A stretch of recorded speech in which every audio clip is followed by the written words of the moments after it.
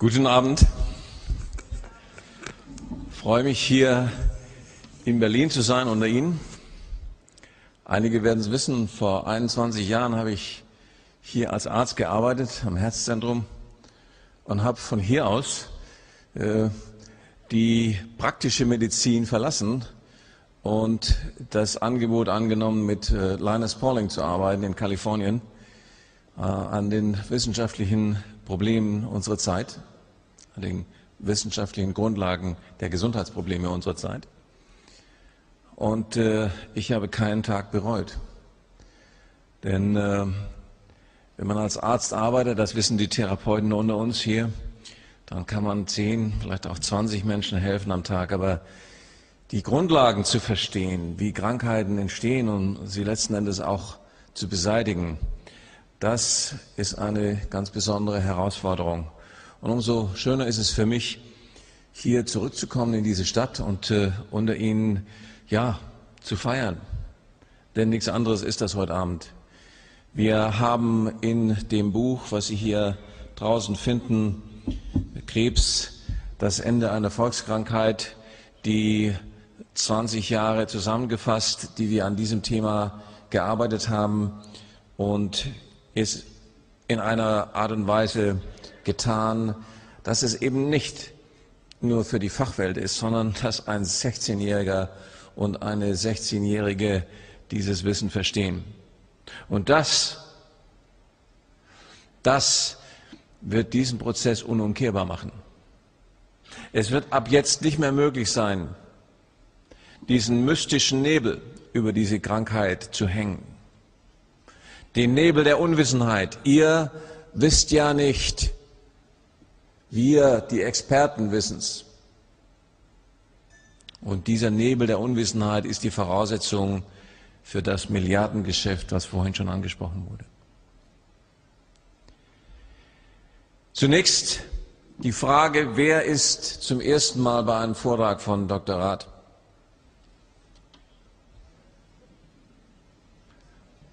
Ah, doch eine ganze Menge, vielleicht etwas mehr als ein Drittel, wenn ich das richtig sehe. Schön, dass Sie hier gekommen sind. Ihnen besonders gilt dieses Einführungsdia. Ich, wir schulden Ihnen eine Erklärung, wer wir sind. Wir sind in erster Linie eine Organisation, die nicht existiert, um Profit zu machen. Diese Stiftung, die Sie hier sehen, die Dr. Rath Foundation, der gehört 100 Prozent all dessen, was wir an Erwerbstätigkeit machen. Ob das Bücher sind, Gesundheitsprogramme etc. Und demzufolge gehen auch 100 Prozent des Gewinns dieser Aktivitäten an diese Stiftung. Was macht die Stiftung damit? Wir haben uns verpflichtet, ein neues Gesundheitswesen mit aufzubauen, das eben nicht mehr dem Geschäft mit der Krankheit frönt, wo Krankheiten nicht mehr als Märkte angesehen werden, die man ausweiten muss, sondern ein Gesundheitswesen, was die Prävention, die Vorbeugung und schließlich die Ausmerzung und Beseitigung von Volkskrankheiten zum Ziel hat. Das sind wir.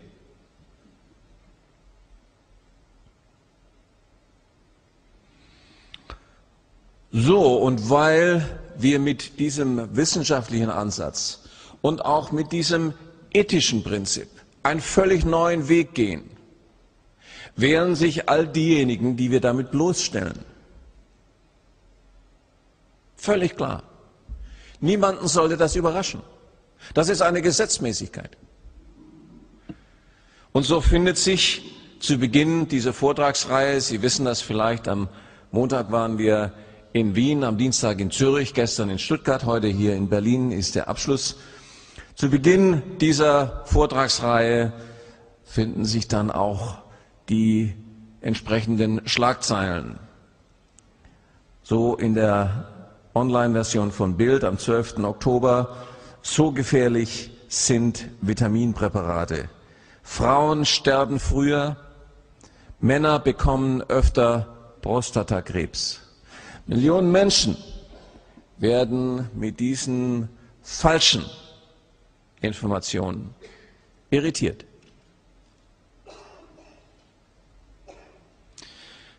Die Studie, die in der Bildzeitung hier und auch in anderen Medien hofiert wurden, haben wir uns mal unter die Lupe genommen. Und es ist interessant, da einige wenige Minuten drauf zu verwenden. Was steckt dahinter? Erstens, es ist gar keine klinische Studie, wie hier dargestellt wird oder wie man vermuten könnte, in der eine Gruppe der Teilnehmer Vitamine bekam und die anderen als Kontrollgruppe fungierten. Die ganze Studie beruht auf Fragebögen über Essverhalten und andere Aspekte. Wo wohnen Sie, welchen Bildungsgrad haben Sie, etc. In einem Bundesstaat der USA, Iowa, der überwiegend ländlich, also agrar gestaltet ist. Hochaktuelle Studie, meinen Sie? Die letzten Fragebögen wurden 2004, also vor sieben Jahren, ausgefüllt. Und jetzt kommt der richtige Hammer. 80 Prozent der Kontrollgruppe in dieser Studie oder angeblichen Studie, das heißt über 11.000 Teilnehmer, sind während der Studie ausgefallen. Ohne Angaben von Gründen und konnten gar nicht bewertet werden. Zusammenfassend, die angebliche Studie, die beweisen soll, dass Vitamine schädlich oder gar tödlich seien, ist gar keine klinische Studie.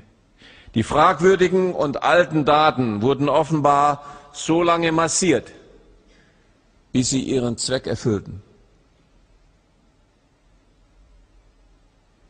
Doch die Zeitungen sind nicht die einzigen Medien, die eingesetzt werden, um die Menschen zu irritieren und davon abzubringen, die neuen Wege, die jetzt wissenschaftlich möglich werden, zu begrüßen. Auch öffentlich-rechtliche Fernsehanstalten werden dazu missbraucht. Ein Beispiel, der WDR, also ich nenne Nordrhein-Westfalen nicht Bayern, sondern Bayer Land. Nicht? Leverkusen ist ja in Nordrhein-Westfalen. Da lesen wir in dem Fernsehbeitrag kolportiert, Nahrungsergänzungsmittel erhöhen das Sterberisiko. Hochgradig gesundheitsschädliche Substanzen. Unverantwortlich. Finanziert mit den Gebühren der Menschen, mit den Steuergeldern der Menschen, denen hier Gesundheit und Leben abgesprochen werden. Bunter geht es eigentlich gar nicht. Ich sage, die Redakteure, die Fernsehjournalisten, die diese Beiträge gemacht haben und natürlich die Intendanten, haben diese Schubladenstudie gar nicht gelesen. Können sie gar nicht. Jeder, der die gelesen hat, wendet sich ab. Schauderhaft.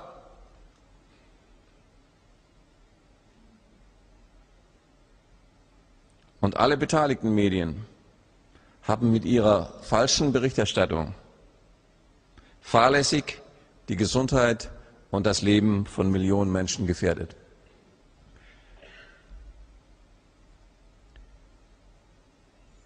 Ich nenne diese Truppe, die sich vorgenommen hat, diesen Durchbruch zu torpedieren, die Maulwurf-Fraktion des Pharmakartells. Gemeinsamkeiten gibt es durchaus. Man kann oder will nicht sehen. Man verschläft viel. Und vor allem, man arbeitet überwiegend im Untergrund. Doch jetzt ist das Spiel vorbei. Wenn man mal so die Glaubwürdigkeit verspielt hat, wie diese Journalisten mit dieser Propagandashow seit zehn Tagen, mit einer Studie, die gar keine ist, dann wird einem in Zukunft auch niemand mehr glauben. Und jeder Angriff, der aus diesen Ecken kommt, wird letzten Endes dazu führen, dass das Kartenhaus der Krebsepidemie und des Geschäfts mit dieser Epidemie noch schneller zusammenbricht. Und es werdet ihr sein, die Menschen hier in Berlin und die Menschen in Deutschland, Österreich, der Schweiz und weltweit, die geschädigt wurden durch diese Propaganda, durch diese falschen Informationen, die diese Menschen, diese Journalisten und Medienvertreter eines Tages zur Rechenschaft ziehen werden. Da bin ich sicher.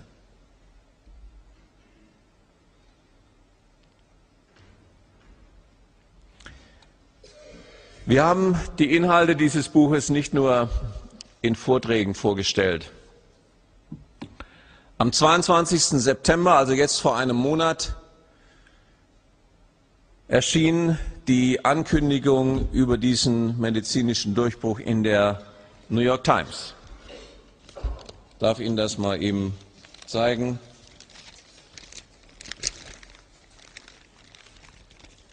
Hier finden Sie die Ankündigung dieses Buches in der einflussreichsten Zeitung der Welt. Das war keine Selbstverständlichkeit. Dort gibt es einen Chefzensor, der prüft, ob die Inhalte dieser Zeitung auch der Wahrheit entsprechen beziehungsweise der Bedeutung dieser Zeitung. Ich habe mit ihm selber gesprochen. Er sagte, wissen Sie, Dr. Rath, wir können das nicht abdrucken. Ich sage, warum denn nicht? Er sagt, ich habe unsere medizinischen Experten gefragt. Die sagten, es gibt zu wenig Beweise. Ich sage zu ihm, wie können Sie von Ihren medizinischen Experten erwarten, dass Sie etwas anderes vertreten als den Status quo? Und wir haben uns darauf geeinigt, dass die Ankündigung erscheint. Da fanden sich an diesem Tag folgende Ausführungen in dieser Zeitung in New York. Mit der Veröffentlichung dieses Buches wird das Zeitalter der Zellvergiftung durch Chemotherapie und Bestrahlung ersetzt durch das Zeitalter der Zellregulation. Also ein völlig neues Verständnis über die Entstehung dieser Krankheit, die zu einem völlig neuen Therapieansatz und Präventionsansatz führen wird. Weiter stand in der New York Times, dieses Buch beendet die Tragödie der, der Krebsepidemie. Dieser Satz alleine in dieser Zeitung ist bemerkenswert. Die beschriebenen Naturheilverfahren sind wissenschaftlich erwiesen in der Lage, alle Schlüsselmechanismen zu hemmen, die Krebs zu einer tödlichen Krankheit machen. Das werden wir Ihnen heute Abend im Detail mitteilen. Doch der 22. September 2011 war nicht irgendein Tag in New York. Es war die Woche, als die UN-Generalversammlung für dieses Jahr eröffnet wurde. Und alle, alle Regierungen waren an diesem Tag in New York vertreten, saßen möglicherweise beim Frühstück aßen eine Brezel oder ein Sesamhörnchen und haben diese Informationen bekommen. Wir hatten es ihnen wirklich einfach gemacht. Wir haben das ganze Buch online gestellt in englischer Sprache, sodass sie dieses Buch gar nicht mehr bestellen mussten. Sie mussten nur noch auf ihrem PC klicken und haben den Inhalt dieses Buches lesen, runterladen und mit in ihr Land nehmen können zigtausende Hits auf diesen Internetseiten in den nächsten Tagen haben uns gezeigt, dass diese Botschaft, dass dieses Buch, dass der Durchbruch zur Beendigung der Krebsepidemie schon weltweit verbreitet ist und nicht mehr zu stoppen ist, egal was man versuchen wird.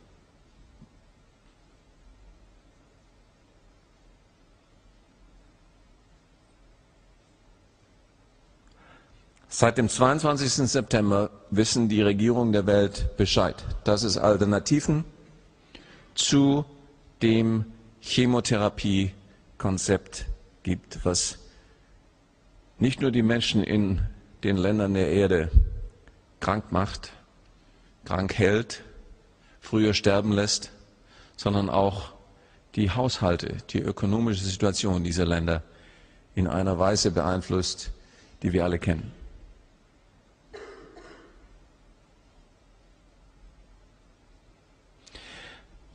Wir sagen nicht, weder Dr. Nitzwicki noch ich, dass wir es alleine waren. Im Gegenteil. Wir als Wissenschaftler heute stehen auf den Schultern von großen Wissenschaftlern, die vor 80 Jahren angefangen haben, die Vitamine und ihre Gesundheitsbedeutung zu identifizieren. Ich habe mal drei mitgebracht. Der Entdecker der Gesundheitsbedeutung von Vitamin B1, der Niederländer Eichmann, Dorothy Hodgkin, Vitamin B12 aus Großbritannien, die ich selber noch kennenlernen durfte, Albert Szent-Györgyi aus Ungarn, der das Vitamin C isolierte. Bisher gab es neun Nobelpreise für die Gesundheitsbedeutung von Vitaminen. Auch das ein Hinweis für die Journalisten, die noch meinen, mit ihren Schlagzeilen Irritation schaffen zu können. Und darum geht es heute Abend. Nur einmal in der Geschichte wird eine Entdeckung gemacht, die zur natürlichen Kontrolle dieser Krankheit führen wird, Krebs. Und dieser Augenblick ist jetzt. Und wir wollen Sie heute Abend darüber informieren. Und noch eins. Das Recht in einer Welt, ohne der Angst vor Krebs leben zu dürfen, das wird uns, wird Ihnen, wird Ihren Kindern nicht geschenkt. Darum müssen wir gemeinsam kämpfen. Und dieser Kampf findet jetzt statt. Jetzt, wo dieses Buch raus ist, müssen sich die Gegner dieses Fortschrittes der ganzen Menschheit positionieren. Und sie werden es tun. Und sie müssen sich entscheiden. Bleiben Sie auf dem Zaun sitzen und gucken, was passiert? Oder beziehen Sie Position? Auch deswegen sind wir hier. Bevor wir zu den neuen Ansätzen kommen, ein kurzer Rückblick, was Krebs heute ist in Berlin, in Deutschland, weltweit. Jedes Jahr verschwinden durch diese Krankheit so viele Menschen wie in Berlin, München, Stuttgart und Hamburg gemeinsam leben. Siebeneinhalb Millionen, das entspricht ungefähr der gesamten Einwohnerzahl der Schweiz. Auch die Kosten dieser Krankheit sind beeindruckend. Direkt und indirekt sind es derzeit 209 Milliarden Euro.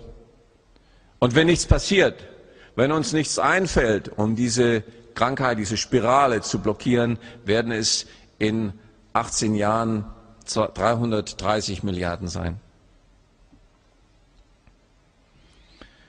Die Antwort der herkömmlichen Medizin auf diese Herausforderung der Krebskrankheit ist, ich sage es, weil ich keinen anderen Ausdruck dafür gefunden habe, hilflos. Wie anders kann man erklären, dass man eine Schrotflintenstrategie verwendet, um gegen diese Krankheit vorzugehen. Bestrahlung, radioaktive Strahlen, wie in der Welt, sollen diese Strahlen unterscheiden können zwischen Krebszellen und gesunden Zellen. Das können sie nicht. Die Chemotherapie, das Einflößen von hochtoxischen Substanzen in den Körper des Patienten, wie kann das Gift unterscheiden, was eine Krebszelle ist und eine gesunde Zelle? Kann, sie, kann es nicht. Also die herkömmliche Medizin tötet, schädigt und tötet. Wahllos. Krebszellen und gesunde Zellen. Das wussten Sie vielleicht. Aber was jetzt kommt, wussten die wenigsten. Die Geburtsstunde, die Wiege der Chemotherapie ist der Erste Weltkrieg. Noch genauer das Senfgas. Eingesetzt, um Menschen zu töten. Die Chemotherapie, die Senfgasderivate unterscheiden sich von, dem, von der chemischen Waffe nur durch ein einziges Atom. Das Schwefelatom wurde durch ein Stickstoffatom ersetzt.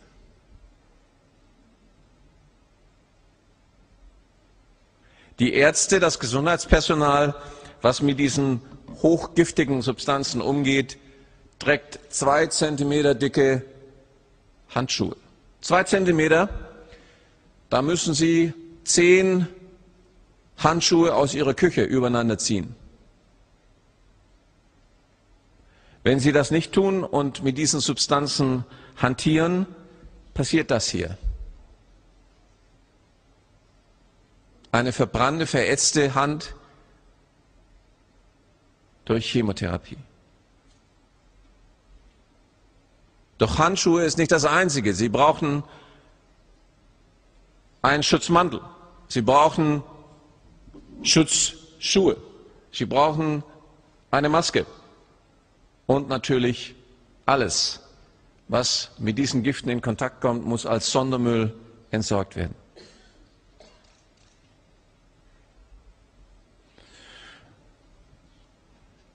Die Chemotherapeutika sind so giftig, dass man sie nicht auf normalem Wege in die Venen infundieren kann, weil diese Venen würden verätzt werden.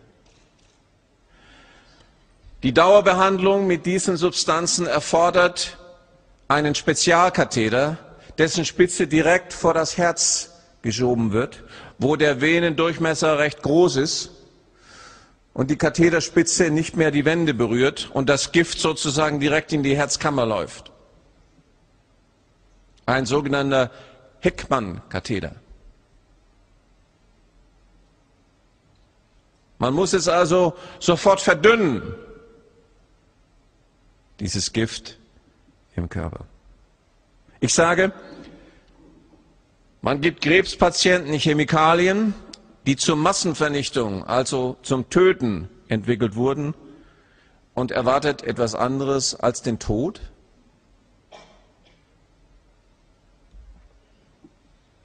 Damit nicht genug. Die Chemogifte töten rasch. Schnelle Vergiftung des Körpers. Nun hat man sich überlegt, dass es auch andere Wege geben kann, um dieselben Ziele zu erreichen, also langfristige Schädigung des Körpers durch Substanzen, die man als Krebstherapeutika Ihnen als Krebspatient empfiehlt. Diese zweite große Gruppe sind die sogenannten Antimetabolite. Das Ersetzen von Bausteinen im Erbgut der DNS jeder Zelle. Sie blockieren die Vermehrung aller Körperzellen, weil die DNA oder die DNS nicht mehr richtig funktioniert und es kommt zu, einem, zu einer langsamen Schädigung des Körpers. Das Prinzip ist in beiden Fällen dasselbe. Wahllos werden gesunde und kranke Zellen geschädigt. Deswegen der Zeitenwechsel. Wir sagen, das Zeitalter der Zellvergiftung, egal ob das Bestrahlung ist, ob das Chemotherapie ist, ob das die Antimetaboliten sind, wird ersetzt werden durch das Zeitalter der Zellregulation, ein klares Verständnis der Menschheit über die Ausbreitung von Krebszellen und die Möglichkeit, diesen Prozess zu blockieren. Dazu nun einige Ausführungen. 1992 habe ich zum ersten Mal auf eine Seite aufgekraxelt, wenn dieses neue Verständnis stimmt, wenn wir das beweisen können, dann wird es eines Tages keinen Krebs mehr geben. Das ist jetzt 19 Jahre her. Vor neun Jahren, 2002 im März, wir hatten inzwischen unser Forschungsinstitut eingerichtet und hatten als ersten Forschungsschwerpunkt die Krebsforschung ausgewählt, hatten innerhalb von zwei Jahren die Schlüsselexperimente bestätigt und fanden, dass die Ergebnisse so wichtig waren, dass wir in die größte Zeitung der Welt gingen. Wir wollten nicht, dass dieses Wissen irgendwo verschimmelt in irgendwelchen medizinischen Fachzeitschriften. Daher USA Today.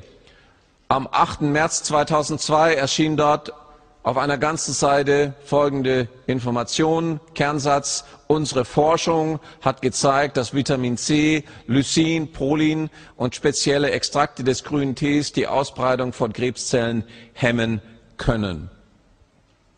Es hat zwei Monate gedauert, dann erschien eine erste Antwort in einer der größten Zeitungen der US-Westküste, dem San Francisco Chronicle.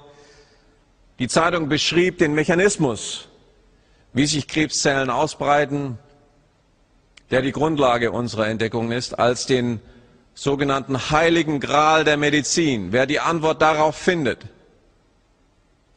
so die Zeitung, hat den heiligen Gral der Medizin gefunden.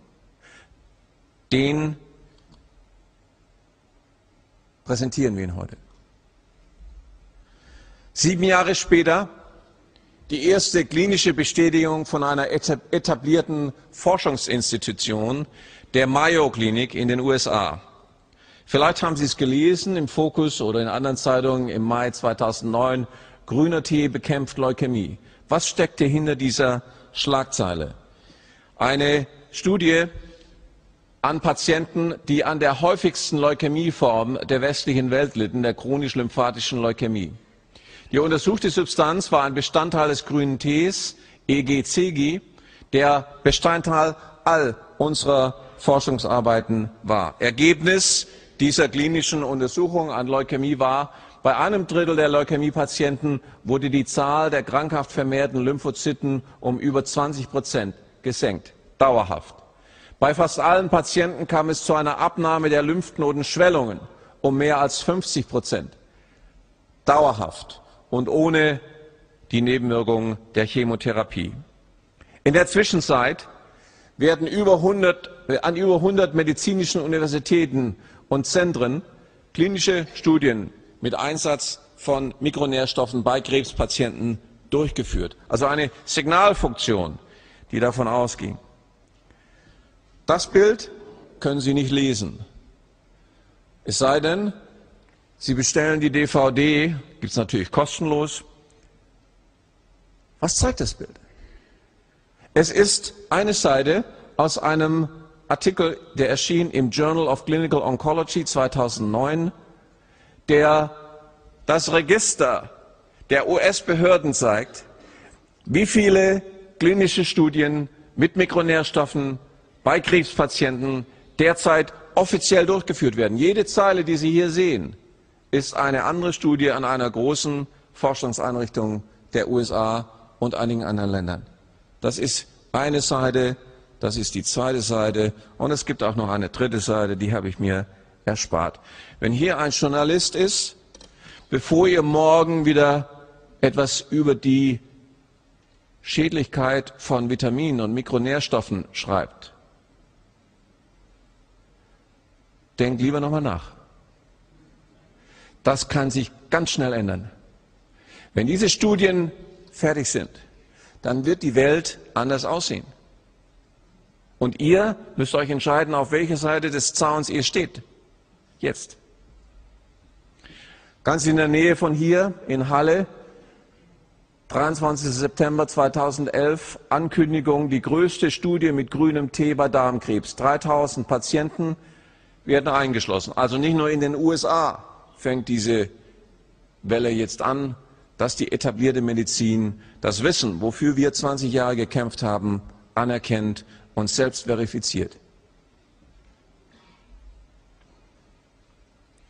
Nun zu den wissenschaftlichen Fakten. Ein Durchbruch, den jeder verstehen kann.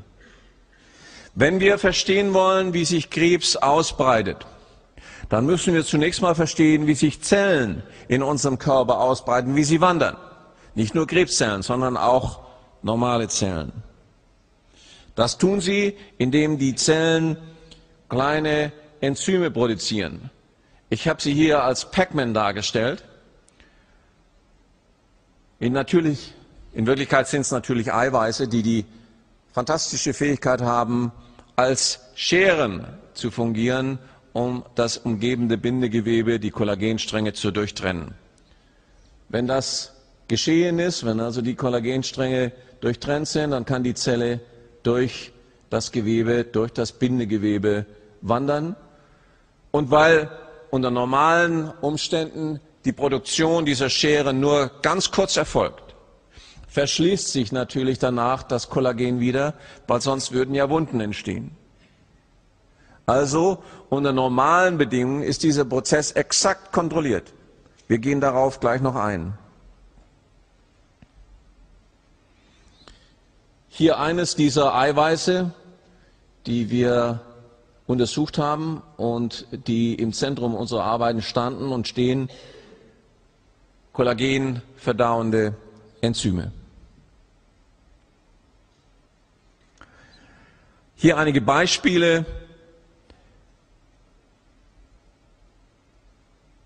wie diese Enzyme bereits unter normalen physiologischen Bedingungen in unserem Körper arbeiten. Zum einen der Eisprung, zum anderen der Gewebeumbau, zum Beispiel für die Reproduktion, Beispiel Stillzeit, Wachstum und schließlich auch die Wanderung von weißen Blutkörperchen, zum Beispiel bei der Abwehr. Erstes Beispiel, Eisprung. In der Mitte des weiblichen Zyklus vollzieht sich ein hochinteressanter Mechanismus in unserem Körper oder im Körper der Frau. Eine Zelle wandert aus einem Organ, dem Eierstock, in ein anderes Organ, den Eileiter. Und nur eine Zelle. Wie funktioniert das? Es funktioniert so. Mit Hilfe der kollagenverdauenden Enzyme schneidet, diese, diese Enzyme schneiden ein kleines Loch in die Wand des Eierstocks und erlauben es, der Eizelle auszutreten und in den Eileiter zu gelangen. Hier sehen Sie das unter dem Mikroskop, eine Eizelle. Da drumherum sind die Granulosazellen, die diese kollagenverdauenden Enzyme produzieren und es ermöglichen, dass die Eizelle wandert im Körper. Danach Der Beginn dieser Aktion wird getriggert durch den Hormonanstieg in der Mitte des Zyklus. Das wissen viele von Ihnen. Ein rascher Anstieg und ein sofortiger Abfall. Dieser rasche Anstieg ist der Stimulus für diese kollagenverdauenden Enzyme. Der rasche Abfall lässt sie wieder erlammen. Also genau getimt. Damit keine überschießende Reaktion, kein überschießender Gewebeabbau stattfindet. So, und genau deswegen fragen wir uns, was passiert denn eigentlich dann, wenn dieser Prozess entartet, wenn er nicht mehr gestoppt werden kann? Dann sieht das so aus.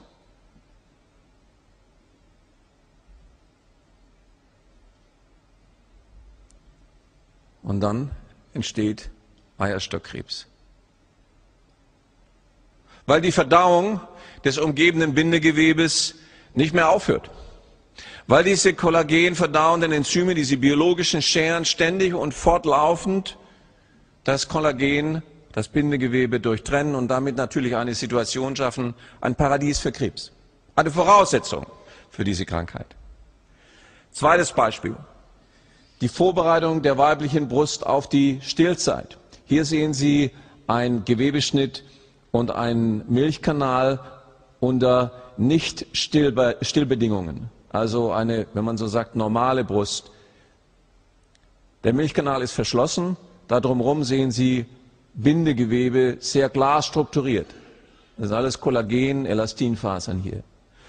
Ganz, ganz anders in der Stillzeit hier sehen Sie einen offenen Milchkanal und Sie sehen auch, dass das ganze Gewebe sehr viel lockerer ge geworden ist.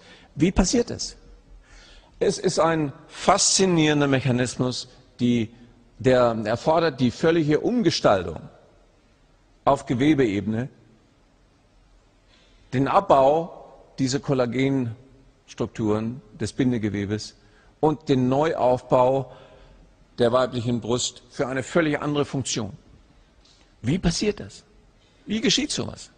Das ist so, wie wenn Sie ein Haus einreißen, um ein neues bauen zu können. So etwa muss man sich das auf biologischer Ebene vorstellen. Auch das, auch dieser Prozess wird durch diese kollagenverdauenden Enzyme äh, geregelt. Sie sind es, die zunächst mal diese Kollagenstrukturen einreißen, abbauen. Was passiert, wenn dieser Scherenmechanismus nun nicht mehr gestoppt werden kann, wenn diese Zellen entarten? Nun, Sie ahnen es schon, dann entsteht Brustkrebs. ein fortgesetztes Verdauen von Gewebe durch die entarteten Zellen. Knochenkrebs. Warum entsteht Knochenkrebs bei jungen Menschen oder Jugendlichen insbesondere? Nun, auch diese Frage kann jetzt logisch und klar beantwortet werden.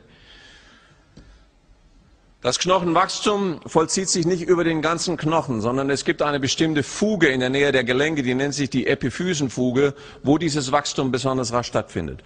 Und dieser Wachstumsprozess wird mit Hilfe von diesen kollagenverdauenden Enzymen ermöglicht. Wenn die entarten diese Zellen, dann entsteht genau an diesen Positionen Knochenkrebs oder Osteosarkom. Letztes Beispiel, die Wanderung von Leukozyten, von weißen Blutkörbchen. Wir haben hier ein Modell einer Lungenentzündung, einer Pneumonie, hier die Bakterien.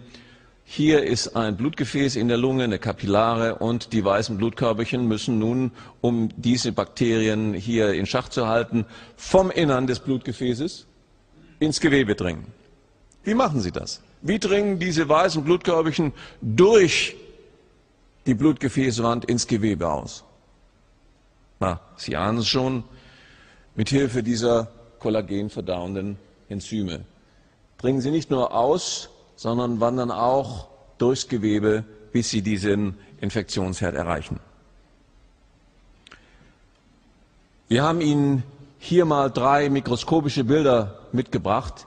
Eine Leihgabe von Dr. Lösch, der diese Untersuchungen gemacht hat. Hier oben das Weiße ist die Blutbahn. Das ist die Blutgefäßwand hier, diese Struktur hier unten. Und hier sehen Sie diesen runden, diese runde Figur hier.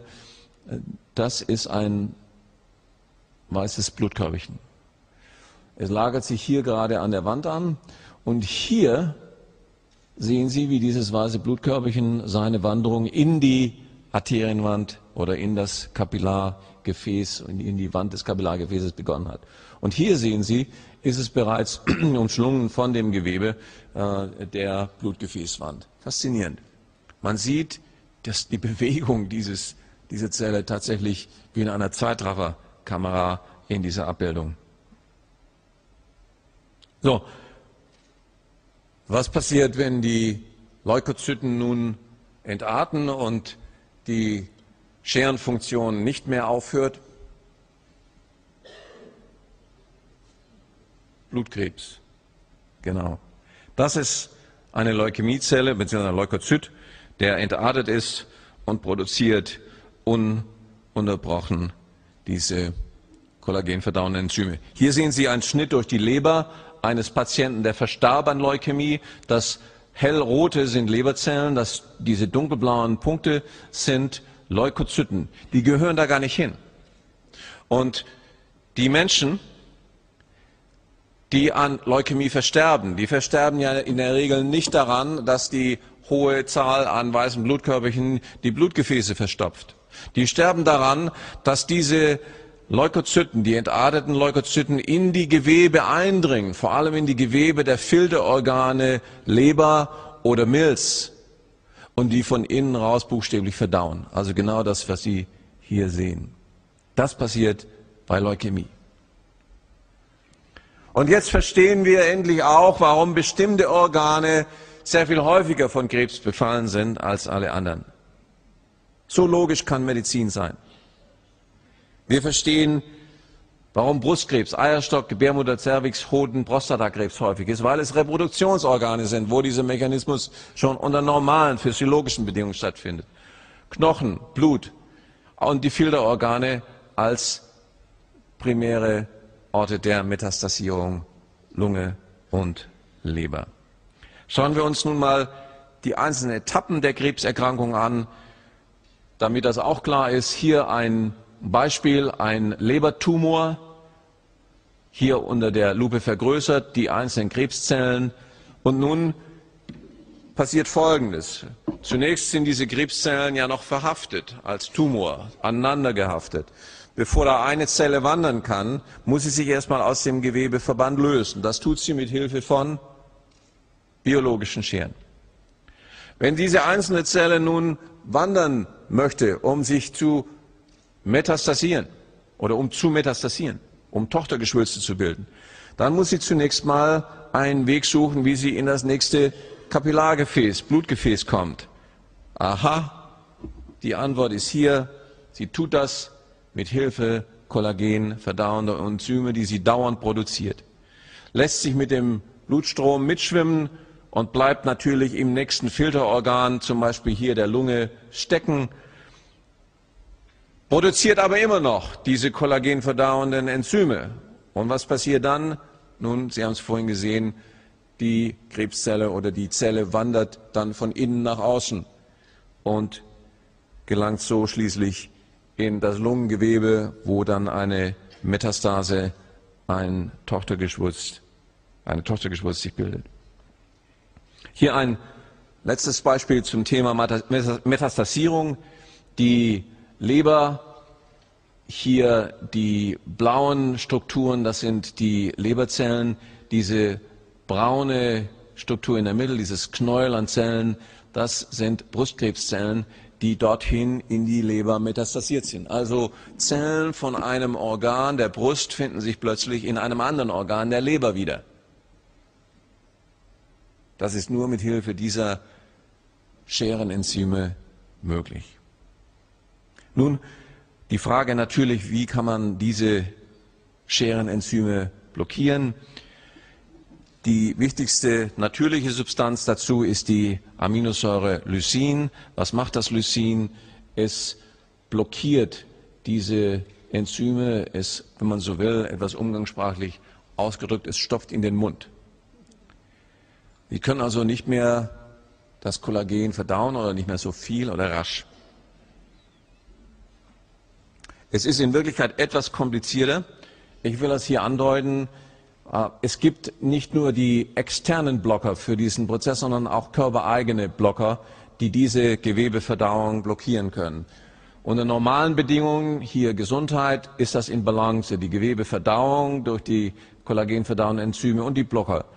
Nun, vorübergehend kann es sein, dass die äh, Imbalance entsteht, zum Beispiel äh, bei der Wanderung eines weißen Blutkörperchens. Ähm, und dann weiß der Körper, aha, um die Balance wiederherzustellen, muss ich ganz rasch die körpereigenen Blocker hochregulieren und damit dieses Gleichgewicht wieder entsteht.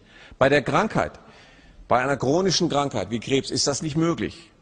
Da übersteigt die Zahl der abbauenden Mechanismen die Zahl der Blocker erheblich und dauerhaft, sodass die körpereigene Produktion dieser Blocker erlahmt. Und deswegen müssen wir sie von außen zuführen. Haben Sie das verstanden? Um diese Balance wieder herzustellen.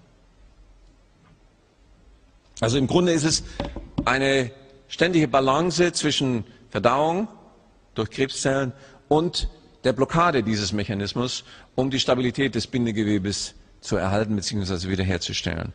Und genau darum geht es bei der äh, Kombination von Lysin und Vitamin C. Lysin blockiert den Abbau und Vitamin C ist in der Lage, die Kollagenproduktion im Körper zu stimulieren. Das wissen Sie von der Seefahrerkrankheit Skorbut. Vitamin C stimuliert die Produktion der Kollagenfasern und des Bindegewebes insgesamt.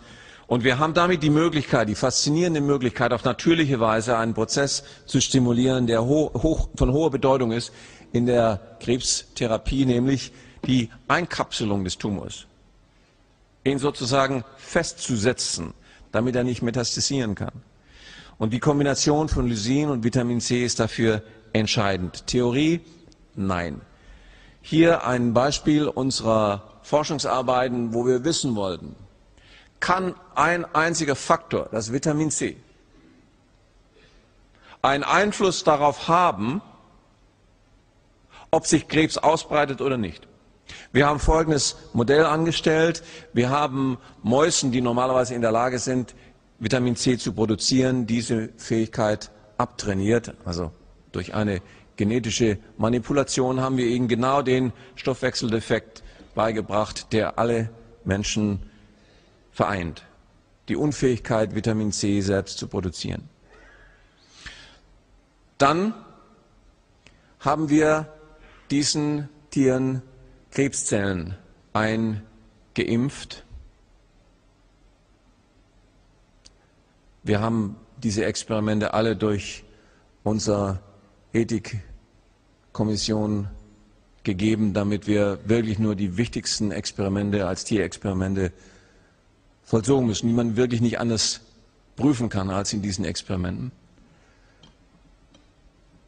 Nachdem die Krebszellen in den Mäusen waren, haben wir einer Gruppe dieser Mäuse kein Vitamin C gegeben in der Nahrung. Sie haben es also weder produziert, noch haben sie es in der Nahrung bekommen. Und den anderen Mäusen haben wir Vitamin C in der Nahrung gegeben. Sie haben also kein eigenes produziert, haben es aber hochdosiert bekommen, so ähnlich wie man ihnen das empfiehlt von Seiten der Zellularmedizin. Das Ergebnis ist erstaunlich. Auf der linken Seite sehen Sie die, den Tumor und die Randbereiche des Tumors von den Tieren, die kein Vitamin C bekommen haben. Sie sehen, der Tumor ist nicht begrenzt, ist offen. Die Krebszellen sind so lose, dass sie gerade, geradezu auf dem Sprung sind zu metastasieren. Man kann das regelrecht sehen. Rechts im Bild sehen Sie die Tiere, die genügend Vitamin C bekommen haben. Hier das Dunkle ist der Tumor und dieser Randbereich, dieser, dieses breite äh, rote Band hier, das sind die neu entstandenen Kollagenstrukturen, die diesen Tumor einkapseln. Eindrucksvoll, nicht? Man kann förmlich sehen, dass aus diesem Tumor keine Metastase sich entwickeln kann. Das nennt man einen benignen, einen eingekapselten, einen lokalen Tumor. Auch dieses Bild sei denjenigen gewidmet, die hier sind, um weiterhin diese Forschung zu diskreditieren.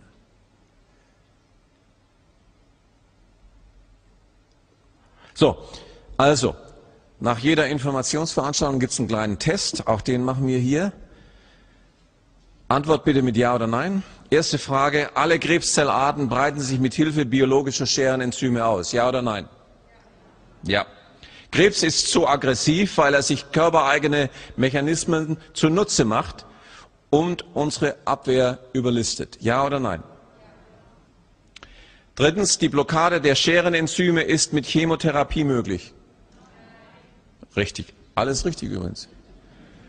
Herzlichen Glückwunsch, Sie haben soeben vier Semester Medizin gespart.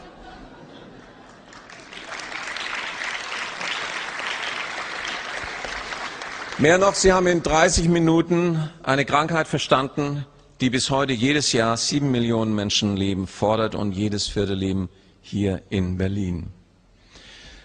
Die nächsten 20 Minuten wird die Frau Dr. Netzwicki gestalten, eine, ich möchte es so sagen, Kampfgefährtin von 20 Jahren, die heute Abend hier ist, um Ihnen als Leiterin unseres Forschungslabors die Experimente zu erklären, die wir über das, was Sie gerade an Grundsätzlichem gehört haben, hinaus inzwischen gemacht haben, die alle Bereiche der Krebsausbreitung umfassen. Ich bitte Sie dazu, die Kopfhörer aufzusetzen, weil der Vortrag in Englisch sein wird und auf Kanal 1 zu schalten. Viel Freude beim Vortrag von Alexandra.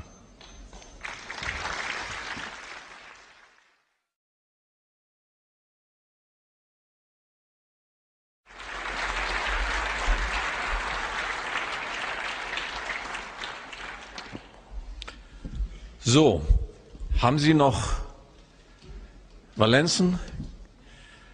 Können wir noch 35 Minuten über die Dinge sprechen, die einfach auch gesagt werden müssen, wenn wir über den Wandel sprechen, historischen Wandel?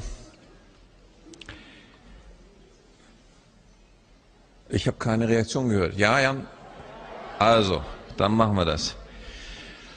Berlin ist eine besondere Stadt. Das werden Sie im Laufe dieser 35 Minuten mehrfach verstehen. Und dieser Teil, dieser letzte Teil des heutigen Abends hier in Berlin hat eine ganz besondere Bedeutung für mich und hoffentlich später auch für Sie. Unser Planet. Wir, die Menschen. Die Nahrung die Inhaltsstoffe dieser Nahrung. All das hat jahrtausendelang funktioniert. Auch ohne, dass die Leute wussten, dass es Vitamine gibt, haben sie sie genutzt, um ihren Körper gesund zu erhalten, um zu leben. Dann hat sich Homo sapiens zu einem Punkt entwickelt, wo er wissen wollte, wie es genauer aussieht. Er wollte wissen, wie die Natur zusammengesetzt ist. Er wollte wissen, welche Bestandteile darin sind, wie sie aussehen und wie man sie nachbauen kann. Die Weide zeigte den Bestandteil der Salicylsäure. Schmerzen konnten gelindert werden. Man wollte wissen, wie sieht das denn aus, dieser Baustein der Weide. Man fand dieses Molekül. Aber das war nicht genug. Man wollte mehr. Man wollte nicht nur nachbauen, sondern man wollte besitzen. Man modifizierte dieses Molekül und machte die Acetylsalicylsäure draus, oder besser bekannt als Aspirin, und eignete es einem Konzern an, dem Bayer-Konzern. Dieses Buch ist der Jahrgang 1897, also jetzt vor etwa 112 Jahren, 114 Jahren, der Jahresbericht über die Fortschritte der Chemie in Deutschland. Jede Zeile dieses Buches hier ist eine Natursubstanz, entrissen der Natur. Doch nicht nur im Jahr 1897 waren diese Zeilen jede beschreibend für ein anderes Molekül, sondern von 1863 bis in die 20er Jahre des 20. Jahrhunderts. Jedes Jahr ein Zauberbuch beinhaltete die neu entdeckten Substanzen. Eine große Magie war da nicht dahinter, denn es waren immer dieselben Bestandteile. Ich nenne es deswegen das Lego-Prinzip. Sauerstoff, Wasserstoff, Kohlenstoff, manchmal ein Schwebelmolekülchen dazwischen.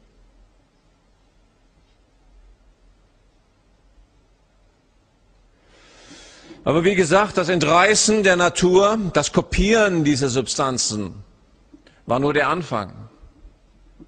Man brauchte ein Instrument, um diese neu entrissenen Strukturen zu besitzen.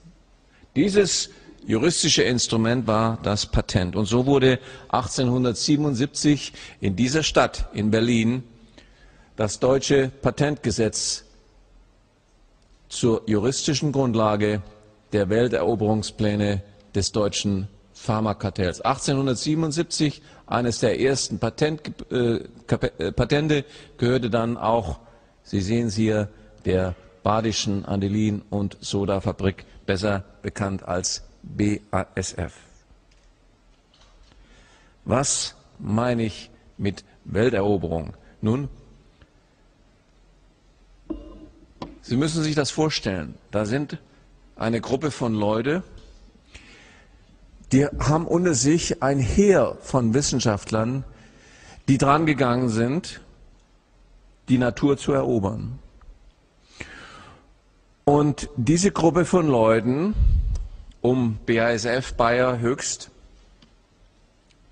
bei denen fließt dieses Wissen und das ökonomische Potenzial dieses Wissens zusammen. Also kopieren der Natur, aneignen der Natur durch die Patente. Und da kommt man auf die Idee, wieso nur in Deutschland? Die Menschen auf der ganzen Welt sollten von unserem Wissen profitieren, aber nur, wenn wir daran verdienen. Und um dies zu erreichen, musste man eins tun. Das Wissen hatte man. Man musste das Patentgesetz ausdehnen auf andere Länder, auf die Welt. Notfalls mit militärischen Mitteln. Man suchte und fand. Er hier, Karl Dösberg, schrieb schon im Jahr 1904 in einer Denkschrift, dass die deutsche chemische Industrie das Recht hat, die Welt zu besitzen. Man suchte nur noch nach den Handlangern, die ihnen dabei halfen. Man fand die Handlanger hier in dieser Stadt, in Berlin. Wilhelm II. und schickte ihn auf den Weg, nicht alleine. Man gab ihm die Mittel an die Hand, zum Beispiel dieses hier. 1910 ein BASF-Patent, was aus Luft, 70 Prozent der Luft besteht aus Stickstoff, Bomben produzierte. Wenn man den Stickstoff der Luft fixiert, steht daraus Ammoniak, die Grundlage für TNT. Also vier Jahre vor dem Ersten Weltkrieg hatten die Jungs raus, wie man aus der Luft Bomben produziert. Fantastisch. Ein Lego-Baustein, das Stickstoffmolekül, hoher Druck, hohe Temperatur. Da kommt man doch auf die Idee, dieses Wissen anzuwenden. Und genau das war der Anfang des, Zweiten, des Ersten Weltkrieges. Bayer, die andere Firma, trug ihren Beitrag ebenfalls dazu bei, die Erfindung des ersten Kampfstoffes chemischer Art, Senfgas. Lost hieß es auch, für Lommel und Steinfeld, die beiden Erfinder.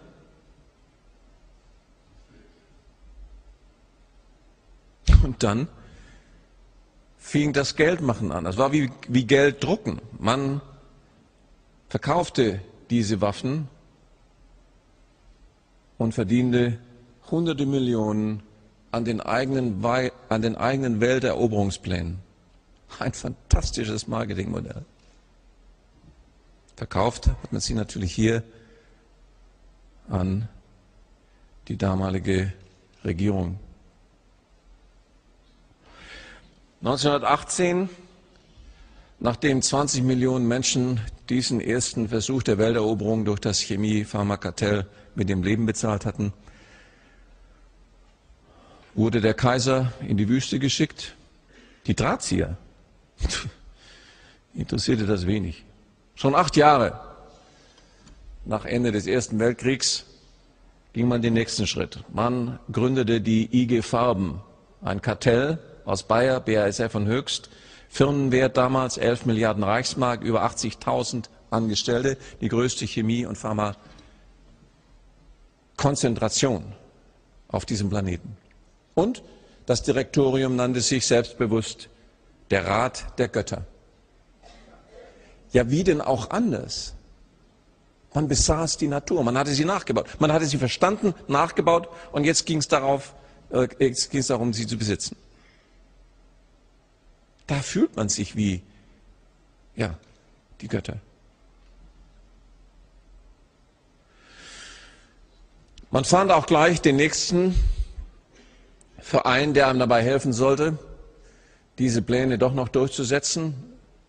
Auch dies hier in Berlin, das Gebäude hier ist das Hauptgebäude in Frankfurt, aber die politische, militärische Planung dieses zweiten Welteroberungsfeldzugs des IG Farben Kartells oder des chemisch-pharmazeutischen Kartells wurde von hier aus geplant, von dieser Stadt aus. Über 40 Millionen Reichsmark flossen von der IG Farben in die Wahlkämpfe der Nazis. Keine andere Firma sponserte sie mehr.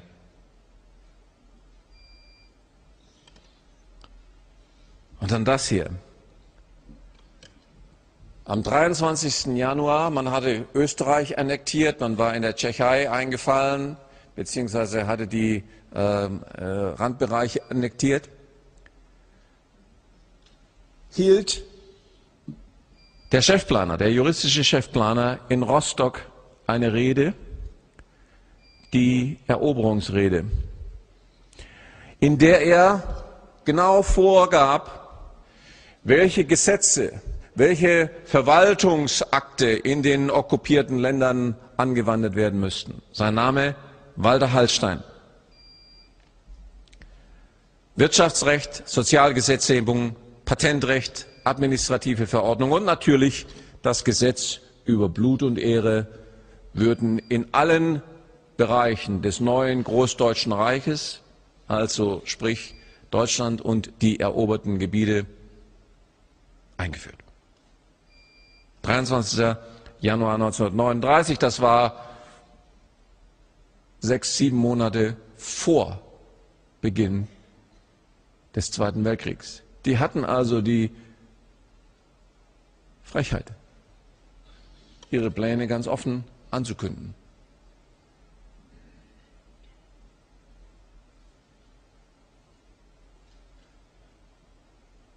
Wer diese Rede nachlesen will, kann dies tun in diesem Buch, Die Nazi-Wurzeln der Brüsseler EU, Kapitel 2, ist sie original wiedergegeben.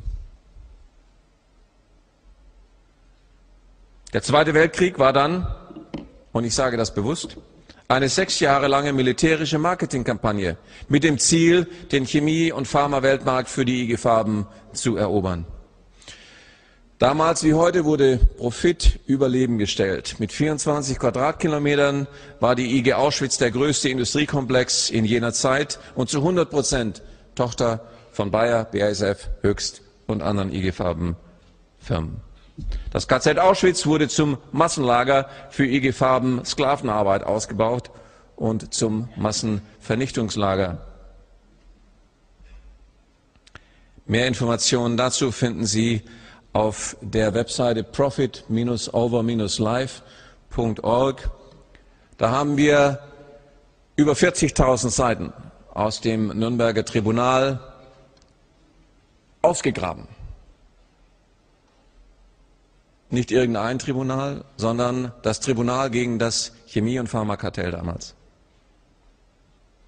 In der Folge werde ich Ihnen einige Dokumente davon zeigen.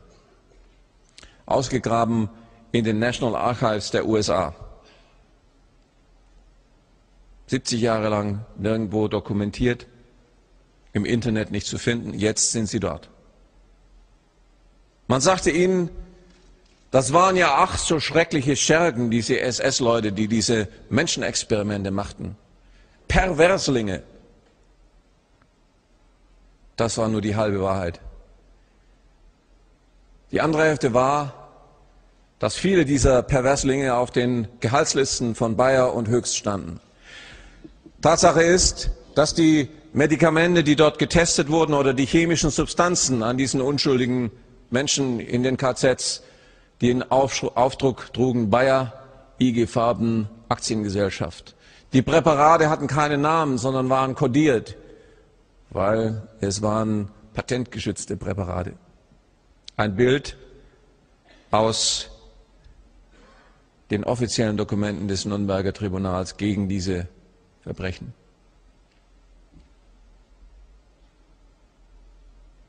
Die Eigentümer dieser Substanzen war nicht irgendwer.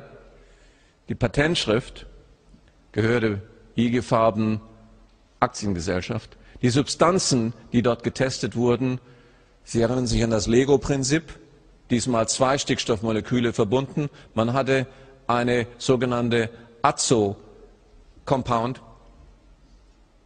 die Chemotherapie.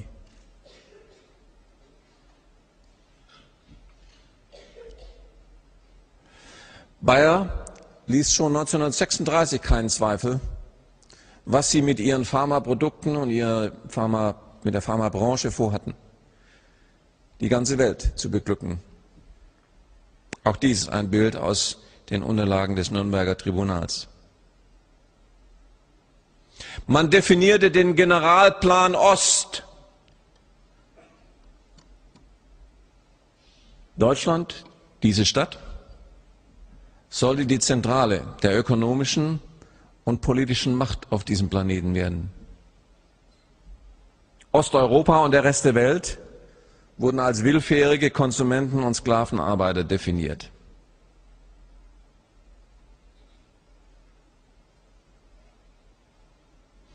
Ein weiteres Dokument aus dem Nürnberger Prozess. Man hatte gerade Paris erobert. Man war an, dem, an der Spitze des Erfolgsrausches. Da schrieb die IG Farben einen Brief an die Nazi-Regierung mit dem Titel Die Stellung des deutschen Reichspatents in einem europäischen, unter deutscher Führung stehenden Wirtschaftsraum. Gemeinsame Währung, gemeinsames Patentrecht, gemeinsame Patentgerichtsbarkeit und so weiter und so fort. Das lag ihnen am meisten am Herzen. Kontrolle der Welt über Patente. Auch dieses Experiment ging schief. Zweite Welteroberung nicht möglich, militärisch. Hier der US-Chefankläger Telford Taylor in Nürnberg. Ohne die IG Farben wäre der Zweite Weltkrieg nicht möglich gewesen. Hier die Zahlen dazu, auch das in Nürnberg. Die Abhängigkeit der Nazi-Wehrmacht von der Produktion der IG Farben 1943 synthetischer Gummi zu 100 Prozent, synthetisches Öl 100 Prozent, Giftgas 95, Sprengstoff 84 Prozent aller Bomben, die im Zweiten Weltkrieg benutzt wurden, produziert von Bayer und BASF. Und dazwischen die Medizin, Blutzehrer 100 Prozent, Medikamente 55 Prozent.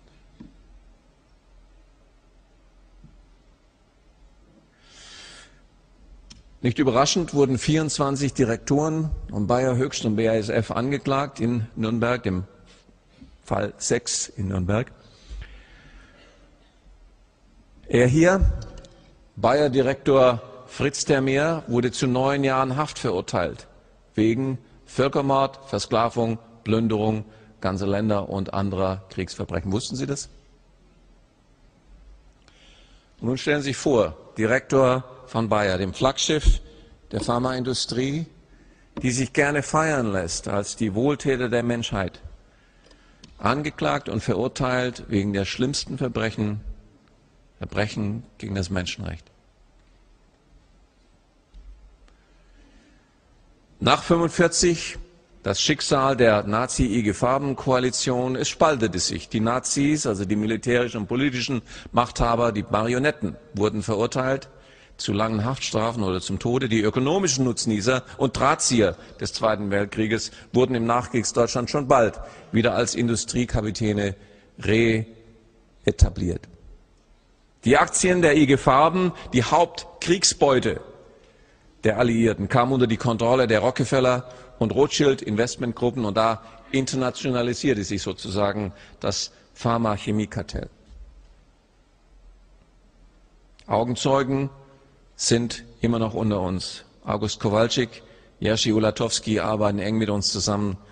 August Kowalczyk hat, das äh, finden Sie in den Büchern hier, diese Serie Wissenschaft als Kunst zu Beginn jedes Kapitels uns gewidmet für diese Arbeit, für diesen Kampf für eine krebsfreie Welt. Weil er sagte, ihr unsere Stiftung. Ihr tragt eine Stafette, die wir euch übergeben haben. Auch das verpflichtet uns. August Kowalczyk hat ein Hospiz in Auschwitz begründet als Dankeschön für die Menschen, die den wenigen, die überlebten, zur Flucht verhalfen, auch ihm. Wenn Sie mehr darüber wissen wollen und eine Spende für dieses Hospizprojekt erwägen, können Sie die Informationen draußen am Stand Movement of Life bekommen. Warum zeige ich Ihnen diese Bilder? Wir werden oft gefragt, Dr. Rath, es ist doch nicht möglich, dass ein Wirtschaftszweig, eine Industrie, die Pharmaindustrie, das Leben von Millionen Menschen wissentlich aufs Spiel setzt. Das glauben wir einfach nicht. Beispiel Chemotherapie und Krebs. Unsere Antwort ist sehr nüchtern. Diese Interessen haben zwei Weltkriege mit herbeigeführt, mit insgesamt 100 Millionen Toten. Und sie werden es immer wieder tun. Die Geschichte des Pharmakartells vom Zweiten Weltkrieg bis heute. Die Technokraten der Nazi-IG-Farbenkoalition sind wieder an der Macht. Ihn hier haben wir schon erwähnt. 1956 wurde aus dem Kriegsverbrecher Fritz Termeer der Aufsichtsratsvorsitzende der Nachkriegs Bayer AG. Wenn Sie meinen, das ist schon empörend, dann schauen Sie sich mal diesen Vorgang an.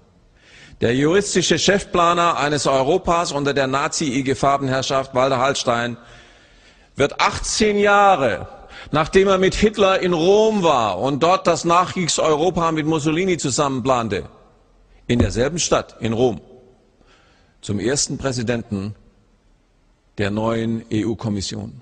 Zehn Jahre lang wurde er Architekt dessen, was Sie heute in Brüssel erleben. Und Sie wundern sich über mangelnde Demokratie? Wenn Sie mehr darüber wissen wollen, empfehle ich Ihnen dieses Buch. Auch da werden Sie Dinge finden, die Sie nicht für möglich gehalten haben, die Ihnen aber vieles erklären, was Sie heute, morgen, übermorgen und in den nächsten Monaten in Tagesschau und anderen Nachrichtensendungen hören über die Interessen, die hinter Brüssel stehen. Ich habe hier ein Buch mitgebracht. 1941 geschrieben, herausgegeben vom Zentralforschungsinstitut für nationale Wirtschaftsordnung und Großraumwirtschaft in Dresden. Das Großraumkartell. Autor der Chef dieser Institution Arno Sölter. In diesem Buch, das Sie auch online lesen können, finden Sie die Grundstruktur der Brüsseler EU. Zentrale ist eine Kartellorganisation, die von niemand gewählt wird. Die EU-Kommission. Und so sieht die aus heute. Das war vor 50 Jahren. Wenn man so will, der Architekt hat das vorausgesehen und hat eine Behörde geschaffen, die fantastisch funktioniert. 27 Hanseln werden ernannt, das sind die EU-Kommissare. Und denen steht ein Apparat von 54.000 Karrieretechnokraten zur Verfügung. Keiner von denen ist demokratisch gewählt, die kennen sie gar nicht. Und sie regieren Europa. Die können Direktiven veranlassen ohne das Parlament, die für 500 Millionen Menschen verbindlich sind. Und dann sehen Sie hier unten dieses kleine Würfelchen hier mit der Zahl 736. Was ist das? Ideen? Das ist das EU-Parlament, richtig. Fällt Ihnen was auf? Auf einen EU-Parlamentarier kommen 80 Technokraten, die aufpassen, dass die ja keinen Unfug machen. Europa heute. Also, ich fasse zusammen. Das Pharma- und Chemiekartell er nennt die EU-Kommission, nicht Sie. Dann gibt es eine Mauer. Und jetzt kommen Sie hier. Da sind 500 Millionen Menschen, die dürfen ab und zu mal wählen, ein Parlament. Aber das Parlament, das trifft auf diese Mauer. Weil es hat keine Rechte, es hat keinen Einfluss auf die EU-Kommission. Es kann keine Gesetze initiieren. Ein Grundrecht jeder Demokratie. Man sagt Ihnen das nicht. Und die wahren Machthaber, die zeigen ihre Macht unverhohlen, damals wie heute. 50 Prozent unseres Lebens gehört schon jetzt diesen Interessen. Beispiel. Vor zwei Wochen, vielleicht haben Sie es gesehen, in deutschen Zeitungen, Fokus, Springer, sorry, Fokus, Spiegel, Stern. 7.30 Uhr, Sie wachen auf, die Fluoride in Ihrer Zahncreme gehören uns, dem Chemiekartell. 7.35 Uhr, die Druckerschwärze in Ihrer Zeitung kommt von uns dem Chemiekartell. Das Silizium in Ihrem Handy kommt von uns und so weiter. Die Verpackung in Ihrem Joghurt zum Mittagessen kommt von uns. Ihre Chemie. Sie machen gar kein Hehl daraus. Besitzen. Sie erinnern sich noch, was die juristischen Instrumente des Besitzens sind? Und so ist es hochinteressant, wenn wir Europa ansehen, die Zahl der Patente zu vergleichen pro Land. Verfolgen Sie mal diesen Stab hier nach oben. Was lesen Sie da für einen Buchstaben? Das ist Deutschland. Drei Konzerne sind an der Spitze, auch die kennen Sie. Vor drei Tagen waren wir in Österreich, das ist zum Beispiel hier. Wie, wie in aller Welt sollen diese kleinen Länder ringsum überhaupt eine Chance haben?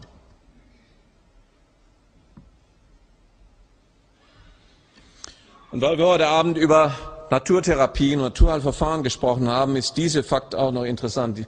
Einer der ersten Schritte der EU-Kommission war es, eine europäische Food Safety Agency zu installieren.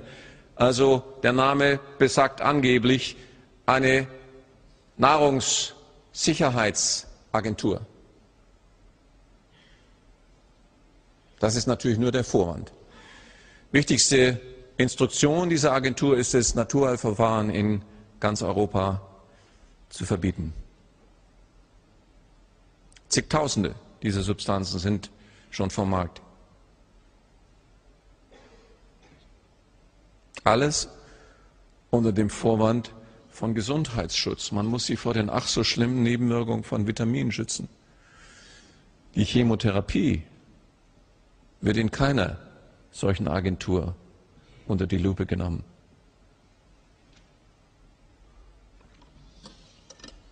Wir kommen zur wirtschaftlichen und politischen Kontrollfunktion des Chemogeschäfts mit der Krebsepidemie. Wenn Sie die Diagnose Krebs bekommen, ist es in den Köpfen der meisten Therapeuten wie ein Schalter. Krebs, Chemo. Wir wissen, dass die wichtigste Nebenwirkung von Chemotherapie was ist? Mehr Krebs. Wie kann es denn auch anders sein, wenn man den Körper vergiftet und die Zellen vergiftet im Körper? Die, das ist die Ursache für Krebs. Eine vergiftete Zelle. Und das ist nicht das Einzige. Es entstehen eine Pyramide von neuen Krankheiten. Herz-Kreislauf-Erkrankungen, Immundefekte, Organschäden und, und, und. Also, das am Leben erhalten der Krebsepidemie erfüllt eine Funktion, eine Marketingfunktion, die Märkte zu erweitern, die Krankheitsmärkte zu erweitern. Es erfüllt eine psychologische Funktion.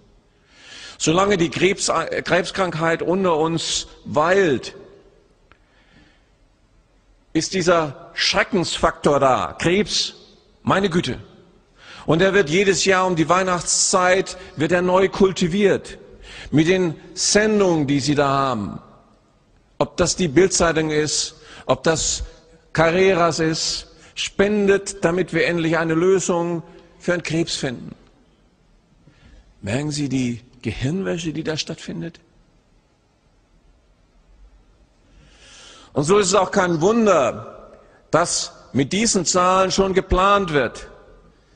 Vor zwei Wochen veröffentlichte das World Economic Forum in den USA die Zahl, dass wenn uns nicht gelingt, diese Krankheiten in den Griff zu bekommen, wird Herz-Kreislauf-Erkrankungen, Krebs und einige andere Nicht-Infektionskrankheiten im Jahr 2030 34 Billionen Euro verschlingen. Ich will Ihnen das mal runterbrechen. 1,5 Millionen mal 1 Euro Stücke um diesen Planeten. Das ist diese Summe. Oder das Dreifache des Bruttosozialprodukts aller EU-Länder zusammengenommen pro Jahr. Wie in aller, wie in aller Welt soll das irgendjemand noch bezahlen können? Aber man sagt es Ihnen heute schon. Man bricht es nur nicht runter, so dass es verstanden wird. Aber ich tue es.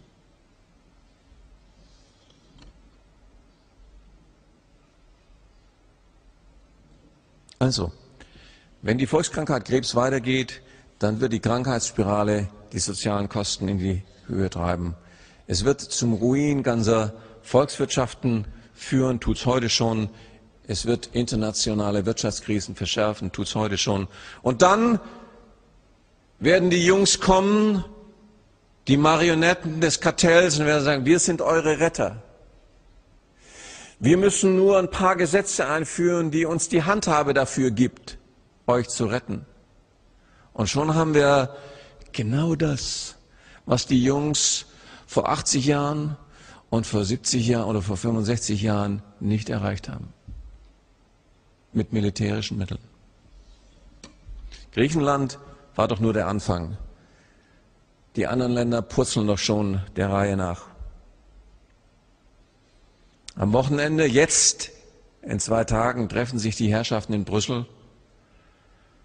Alle sind gespannt, was da passiert.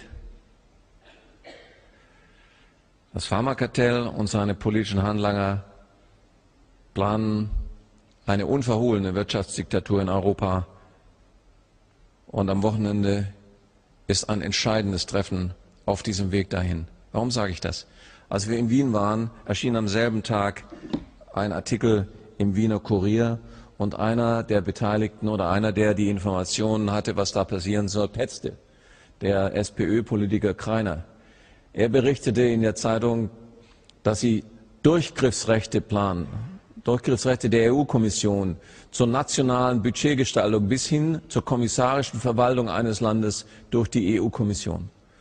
Und selbst er sagt, es ist undenkbar, dass demokratisch legitimierte Parlamente wie in Österreich oder wie hier in Deutschland durch eine nicht demokratisch legitimierte EU-Kommission ersetzt wird.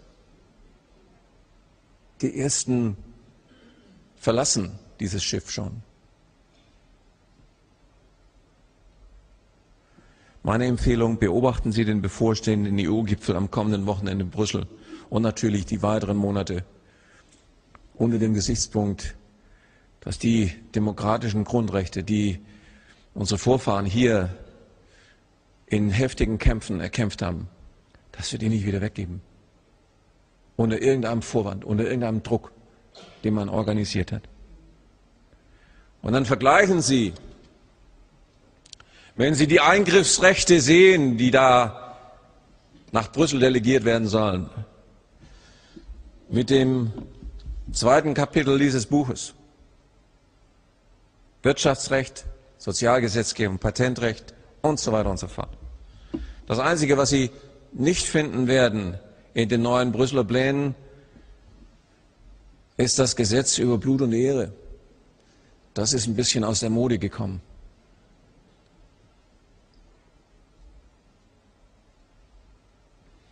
Ich sage, Sie, wir alle können einen entscheidenden Beitrag leisten, dass diese Spirale, dieser Wahnsinn, der da im Augenblick abläuft, gestoppt wird. Und dieses Buch Krebs, das Ende einer Volkskrankheit, ist ein zentrales Instrument dafür. Die Argumente sind da drin. Wir haben es Ihnen so leicht gemacht, wie wir es nur irgend konnten. Mit Bildern, mit einer einfachen Sprache. Ihre Nachbarn, Ihre Freunde werden es verstehen.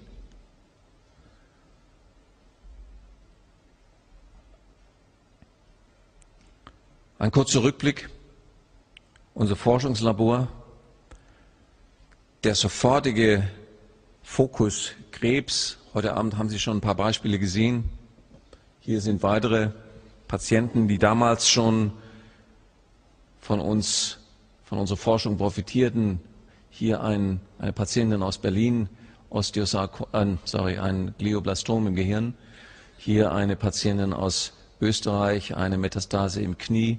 Wir haben diese Informationen sofort genutzt und natürlich wurden sie vom Status quo verstanden. Und Arthur Schopenhauer hat mal gesagt, neue Erkenntnisse gehen durch drei Phasen. Erst werden sie belächelt, dann werden sie heftig bekämpft vom Status quo. Und schließlich sagen alle, wir haben es ja immer gewusst. Ich will Ihnen noch mal kurz ein paar Bilder zeigen zu dieser zweiten Phase, zu diesem heftigen Bekämpfen. Denn das, das war die Phase der letzten zehn Jahre. Jetzt fängt diese Phase an.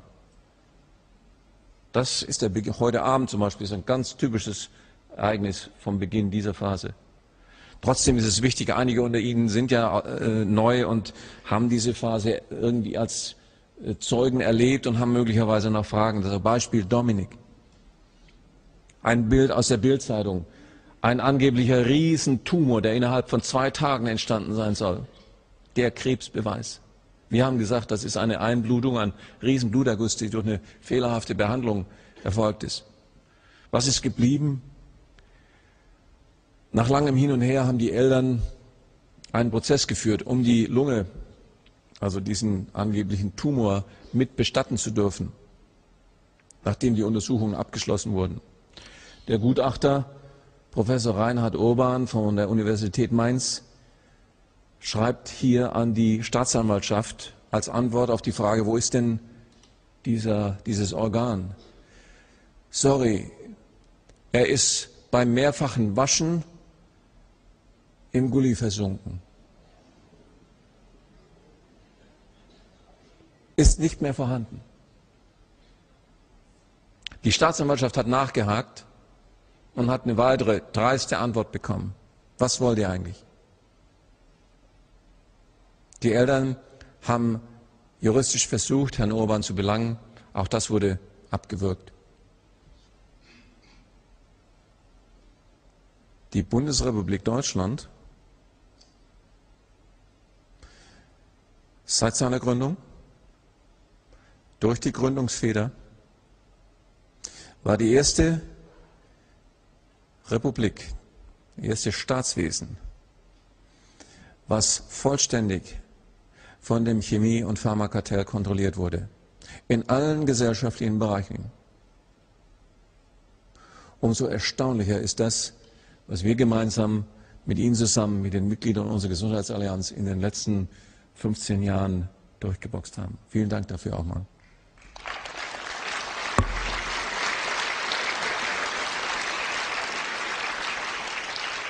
Die Bildzeitung. Drei Tage hintereinander war ich auf der Titelseite der Bildzeitung. Einige erinnern sich noch. Was ist geblieben? Eine gerichtlich verfügte Anordnung der Richtigstellung. Ich werde nicht auf Einzelheiten eingehen. Es, Ihnen, es fällt Ihnen nichts mehr ein, wenn Sie das lesen.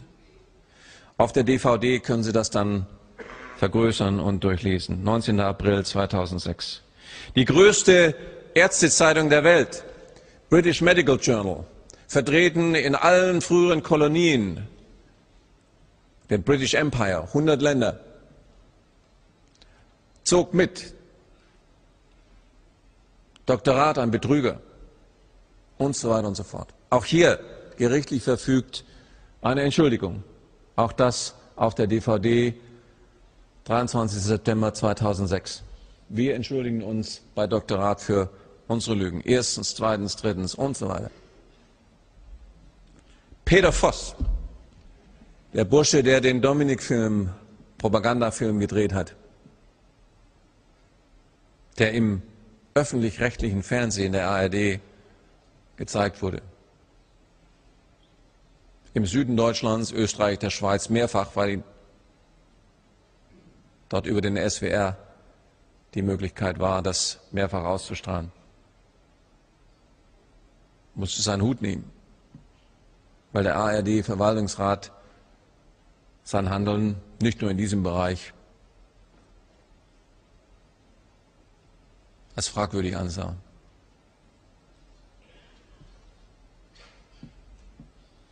Das ist ein Einblick in das Archiv von unseren Anwälten. Ein Teilaspekt. Über 100 Gerichtsverfahren hat die Pharmalobby in den letzten zehn Jahren angestrengt, damit wir heute nicht in Berlin sprechen können und Ihnen dieses Wissen weitergeben kann. Natürlich nicht nur euch, sondern der ganzen Menschheit. Ziel dieser ganzen Kampagne, ich sage dazu einem juristischen Amoklauf, war es, den Durchbruch in der Krebsforschung zu verhindern, damit das Geschäft mit dieser schrecklichen Krankheit weitergehen kann. Man wollte dem Huhn Also diese Forschung den Kopf abschlagen, also Doktorat ins Gefängnis bringen. Das war das Ziel. Deswegen eine einfache Frage an Sie. Wie kann es sein, dass ich heute Abend noch zu Ihnen spreche? Warum stehe ich hier, nachdem die größte Investmentbranche der Erde, das Pharmageschäft mit der Krankheit, diesen medizinischen Durchbruch in über 100 Gerichtsverfahren torpedieren wollte? Wie kann das sein? Ich höre. Weil wir Recht haben. Genau. Und weil sich die Wahrheit nicht länger unterdrücken lässt. Und wenn hier noch einer ist, gerade auch von den Menschen, die noch nicht bei uns waren, der Zweifel hatte bisher, wem er glauben soll, dann denkt mal über diesen Zusammenhang nach. Sie können als Scharlatan zwei, drei Monate arbeiten. Wenn Sie Glück haben, auch sechs. Sie können aber nicht 15 Jahre als Scharlatan existieren, nicht im Bereich der Medizin und nicht als eine Gruppe von Wissenschaftlern, die dem Status quo einer übermächtigen Interessensgruppe ein Milliardenmarkt nach dem anderen abjagt und immer noch öffentlich aufklären kann. Das geht nicht. Da gibt es nur eine Erklärung. Das, was Sie heute angehört haben, ist genau so, wie wir es Ihnen gesagt haben. Was tun? Also, nachdem wir angekündigt haben, dass wir kommen nach Berlin oder in Deutschland überhaupt diese Vorträge machen, war natürlich äh, Mods Hellau und Alaf bei unseren Freunden von der Springerpresse. Man versuchte natürlich, den Status quo sofort einzubinden und man, es fiel ihnen ein, dass sie ja vielleicht die äh, Vertreter der Chemotherapie in Deutschland einladen könnten zu einer Telefonaktion. Und bei dieser Gelegenheit entstand dieses wunderschöne Bild. Also hier sind die Koryphäen der Chemotherapie in Deutschland versammelt unter dem Banner von Bild. Als ich das Bild sah, musste ich schmunzeln. Bei mir fiel natürlich was ganz anderes ein. Mir fiel die Frage ein, wen rufen diese Herrschaften um Hilfe? Wer kann ihnen denn jetzt noch helfen?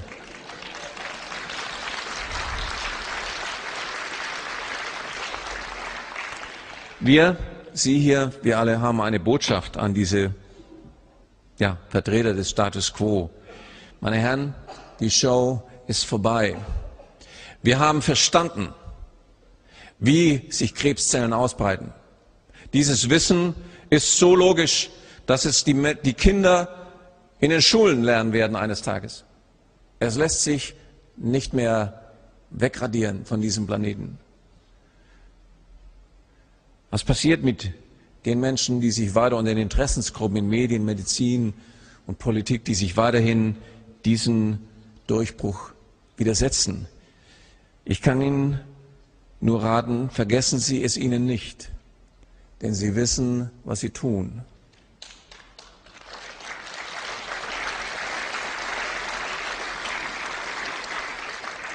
Wir blicken kurz zurück nach Nürnberg. Wir haben vorhin über die Industriekapitäne gesprochen, die dort verurteilt wurden. Aber es wurden auch Ärzte verurteilt und Journalisten, die sich diesen Welteroberungsplänen angeschlossen haben. Einige entkamen einer davon war Paul Schmidt, der Chefpropagandist von Ribbentrop. Nach dem Zweiten Weltkrieg untergetaucht, arbeitete weiter unter verschiedenen Aliases, unter anderem Paul Karell, P.C. Holm und als Berater von Axel Springer. Noch Fragen? Nicht ernsthaft. Und deswegen, weil wir gar keine Zeit haben, uns mit diesen ewig gestrigen, mit dieser Stahlhelm-Fraktion lange auseinanderzusetzen, müssen wir klug vorgehen. Deswegen gibt es eine Webseite, die nennt sich Nürnberger Tribunal 2. die Vorbereitung eines Tribunals, was es mit Sicherheit geben wird, was die Verbrechen der Pharmaindustrie gegen die Menschheit, insbesondere auch mit der Krebskrankheit, aufarbeiten wird und die Verantwortlichen zur Rechenschaft ziehen wird. Wann das sein wird, das weiß ich nicht.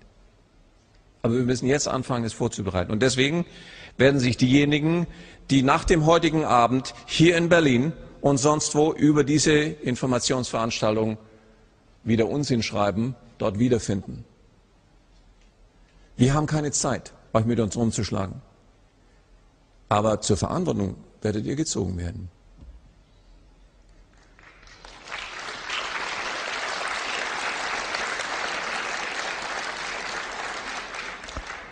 Die Beendigung der Krebsepidemie ist das nächste große Ziel, was die gesamte Menschheit vereinen wird. Nicht nur die Menschen hier im Saal und in Berlin, sondern ich bin überzeugt, wenn dieses Buch, der Inhalt dieses Buch, das Wissen darüber, wie einfach das, wie logisch das ist, wenn sich das verbreitet, wird es keine Schleuse mehr geben, die nicht bricht.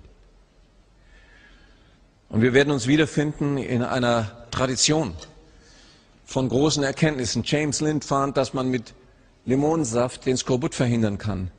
Es hat 40 Jahre gedauert, bis diese Entdeckung der britischen Admiralität recht war als Empfehlung.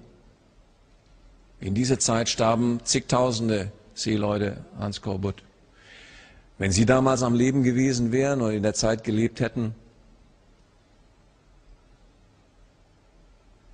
was hätten Sie getan? Hätten Sie nicht auch mitgeholfen, dass sich dieses Wissen schneller verbreitet? Er hier, Ignaz Semmelweis. Er hat entdeckt, dass Händewaschen hilft, das Kindbettfieber zu vermindern. Auf einen Bruchteil der damaligen Todesfälle in den Kreissälen zurückzuführen. Das medizinische Establishment in Wien hat ihn so verfolgt, dass er im Irrenhaus starb wenn Sie damals helfen hätten können? Hätten Sie es nicht gemacht? Louis Pasteur wurde 25 Jahre lang verfemt, weil man sagte, du bist ja nur ein Chemiker und kein Arzt. Was hätten Sie gemacht, wenn Sie helfen hätten können? Jetzt können Sie. Jedes Jahr fast die ganze Einwohnerzahl der Schweiz, jedes Jahr vier Städte in Deutschland. Das sind die Zahlen, um die es hier geht. Wir erleben einen historischen Augenblick. Zum ersten Mal in der Geschichte ist die Frage, wie sich Krebs ausbreitet, für alle Menschen verstehbar geworden. Und zum ersten Mal können alle Menschen, alle Menschen hier im Raum, alle Menschen überhaupt, die damit in Verbindung kommen, durch die Verbreitung dieser neuen Erkenntnisse dazu beitragen, dass diese Krankheit eines Tages keine Volkskrankheit mehr ist. Und zum ersten Mal in der Geschichte ist das Ende der Krebsepidemie in Sicht und damit möglich geworden. Ein wahrlich historischer Augenblick. Verstehen Sie das?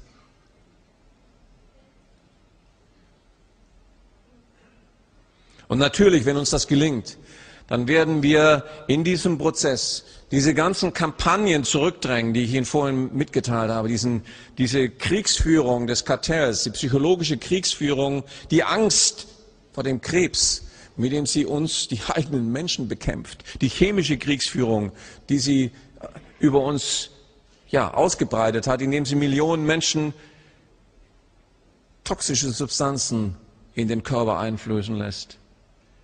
Die ökonomische Kriegsführung, die ganze Volkswirtschaften ruiniert. Also, wenn es uns gelingt, die Krebsepidemie zu beenden, dann hat das weitreichendste Folgen. Es wird das Ende weiterer Volkskrankheiten bedeuten, das Ende der Krankheitskostenspirale. Es wird zur Gesundung der Staatshaushalte führen. Es wird das Ende internationaler Wirtschaftskrisen bedeuten. Nichts mehr und nichts weniger. Der Nutzen für Sie und Ihre Familie ist genauso offensichtlich. Gesünderes Leben, keine Angst mehr vor Krebs, durchschnittliche Lebenserwartung wird sehr wahrscheinlich auf über 100 Jahre ansteigen. Krankenkassenbeiträge, Krankenkosten sinken drastisch, Sozialabgaben sinken die Arbeitsplätze, werden sicherer. Junge Menschen finden wieder Arbeit. Ihr, die heute Abend hier seid, auch. Das ist eure Welt, um die es hier geht. Gemeinde, Staatshaushaltssanierung, Schul-, Krankenhausfinanzierung, all die Dinge, die wir in den Nachrichten jeden Tag lesen, Einsparungen geschlossen, all diese Dinge werden unter einem ganz neuen Licht erscheinen. Und um dieses Buch, um dieses Wissen in dem Buch verbreiten zu können, kreativ mit neuen Ideen, Initiativen, haben wir uns überlegt, dass wir Ihnen vorschlagen, eine Initiative, die nennt sich Meine Stadt krebsfrei oder in diesem Fall hier in Berlin, Berlin krebsfrei. Was heißt das? Wir möchten, dass Sie dieses Buch mit möglichst vielen Ideen unter Ihren Freunden, Bekannten und den Mitbürgern Ihrer Stadt verbreiten. Es spricht für sich. Wir wissen aus den ersten Wochen, äh, wo dieses Buch verfügbar ist, dass jeder, der liest, kommt weg und sagt, boah, das wusste ich nicht. Vielen Dank. Und genau das möchten wir Ihnen vorschlagen. Wenn Sie also diesen Button lesen, Berlin krebsfrei, dann ist das sehr eng verknüpft mit der Verbreitung dieses Buches. Wir erwarten nicht von Ihnen, dass Sie auf die Straße stehen und sagen, Berlin krebsfrei, glaubt mir. Nein, lassen Sie das Buch sprechen. Aber Sie müssen sich mit anderen Menschen treffen, die genau dasselbe Ziel haben, die Erfahrungen gemacht haben, was man alles tun kann, um das Wissen zu verbreiten. Ob das Bekannte sind am Kaffeetisch oder beim Gläschen Wein, Mitbürger, Informationsstände in der Innenstadt, ob das offene Tage sind, ob das Informationsstände in der Schule sind oder Elternsprechtage oder ein Gespräch mit dem Biologielehrer an der Schule Ihrer Kinder. Bringen Sie diese Informationen zurück zu einem Kreis von Menschen, die sich diesem Ziel angeschlossen haben. Vor zwei Tagen habe ich dieses Bild im Internet gefunden, ein Bild aus New York, besetzt die Wall Street, eine Initiative, die auch auf Europa übergegriffen hat, insbesondere unter jungen Menschen, wie man hier sieht. Die jungen Menschen protestieren weltweit gegen die Gier der Banken. Nun, ich sage, wer gegen die Banken protestiert, bekämpft nur das Symptom. Das Geld der Banken kommt ja irgendwo her. Die Hauptursache für die gegenwärtige weltweite Wirtschaftskrise ist ein Jahrhundert der systematischen Plünderung privater und öffentlicher Haushalte durch das Pharma-Investmentgeschäft mit der Krankheit.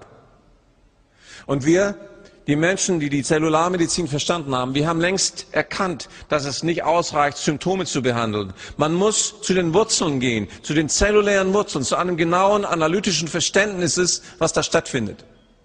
Und das hier ist genau dasselbe im Großen.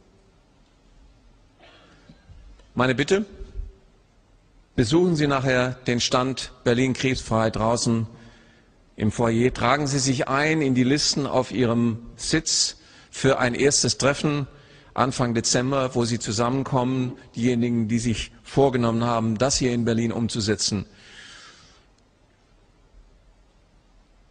Und darum geht's, das Wissen in diesen Büchern. Wenn einer hier rausgeht und sagt, der Doktorat hat eine Riesenschau zur Promotion seiner Bücher abgezogen und Ziel war es, dass möglichst viele Menschen viele, viele Bücher kaufen, dann sage ich, das Ziel habt ihr verstanden. Dass möglichst viele Bücher unter die Menschen kommen. Aber das Doktorat einen Euro davon in die eigene Tasche steckt. Das ist gelogen.